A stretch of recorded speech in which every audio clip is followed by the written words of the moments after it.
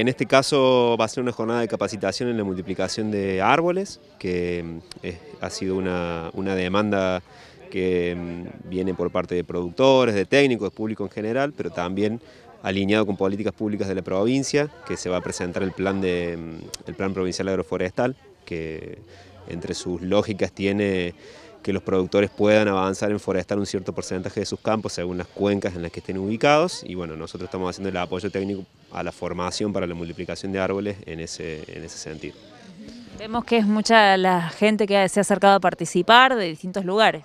Sí, sí, yo eh, llegué ahora, me estoy viendo la, afluencia de gente y está bastante interesante. Por suerte tenemos una aulita acá en el vivero, que también está bueno porque es el espacio donde se puede hacer y mostrar también algunas de las cosas prácticas que se, que, se pueden aportar desde la UNI. Y sí, sí, la, afluencia de gente está interesante también.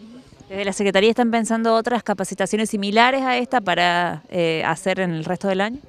Sí, nosotros de la Secretaría en realidad damos el apoyo y, acompañamos en la, formulación de ideas, pero la base del trabajo, como todas las actividades de extensión, como lo hacemos nosotros en nuestro equipo de trabajo fuera de la Secretaría, la hacen, las proponen y las llevan adelante los equipos docentes. La Secretaría en sí colabora y ayuda en que, en que esas actividades se puedan hacer y fomenten que se hagan y, por ahí hacemos la articulación con alguna demanda que viene de afuera y buscamos a los profes que puedan hacer esas actividades.